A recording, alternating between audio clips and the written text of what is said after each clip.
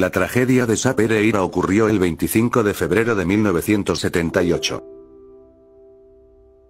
En la tragedia se implican un tren de pasajeros, identificado como Estrella del Norte, realizando el servicio de San Miguel de Tucumán, Retiro. El segundo implicado es un camión Ford F600 modelo 1976 que llevaba una carga con 25.000 kilogramos de grasa comestible y latas.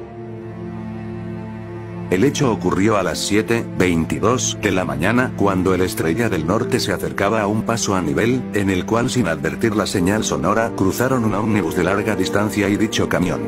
El Estrella del Norte impactó con el camión y salto de las vías, y los dos coches del centro se incrustaron entre sí.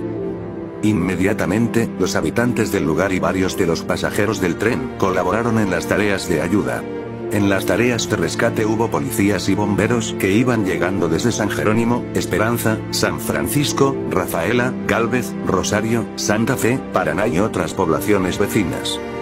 En esta tragedia hubo 55 muertos y 56 heridos, llegando al segundo puesto de las tragedias ferroviarias argentinas más graves, colocándose por encima de la tragedia de Once y por detrás de la tragedia de Benavidez.